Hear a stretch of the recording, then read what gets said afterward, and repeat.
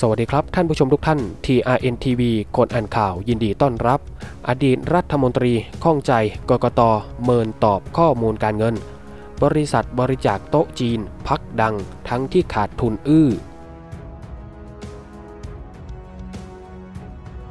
กรณีคณะกรรมการการเลือกตั้งวงเล็บกกตมีมติเสียงข้างมาก ให้ยื่นคำร้องต่อสารรัฐธรรมนูญ เสนอให้ยุบพักอนาคตใหม่ จากการที่กู้ยืมเงิน นายธนาธรจึงรุ่งเรืองกิจ ซึ่งเป็นหัวหน้าพักจำนวนเงิน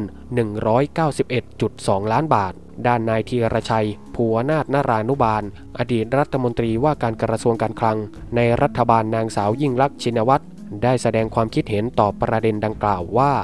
เมื่อมาตรา 72 เขียนไว้ว่า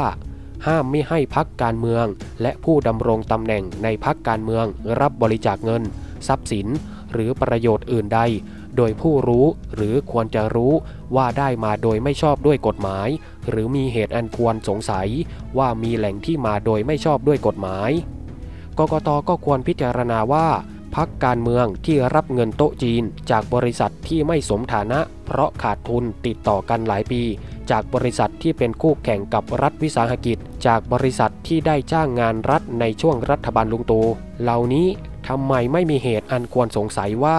แหล่งเงินที่แท้จริงอาจเป็นของบุคคลอื่น อันเข้าข่ายการฟอกเงิน และอาจเป็นการตอบแทนผลประโยชน์ที่ให้ก่อนหน้านี้ หรือหวังจะได้ในอนาคต ผมส่งหนังสือร้องเรียนให้กกตขอข้อมูลเส้นทางการเงินจากธนาคารประเทศไทย วงเล็บทปท เพื่อตรวจสอบเชิงลึก ส่งไปนานแล้ว ป่านนี้ยังไม่ได้คำตอบ กกตทำการตรวจสอบหรือไม่อย่างไร เรียนท่านผู้ชมที่เคารพอย่างนี้ครับ ท่านผู้ชมครับ ท่านคิดเห็นยังไงกันบ้างเกี่ยวกับเรื่องนี้ ลองมาคอมเมนต์พูดคุยทักทายกันดูนะครับ สุดท้ายนี้ขอบคุณข้อมูลดีๆ จากเว็บไซต์ข่าวสด ขอบคุณทุกท่านมากๆ ที่ติดตามรับชม ก่อนจากการกรุณาช่วยกดไลค์กดติดตาม รวมทั้งกดรูปกระดิ่ง เพื่อรับทราบข่าวสารใหม่ๆ TRN TV คนอ่านข่าวรายงาน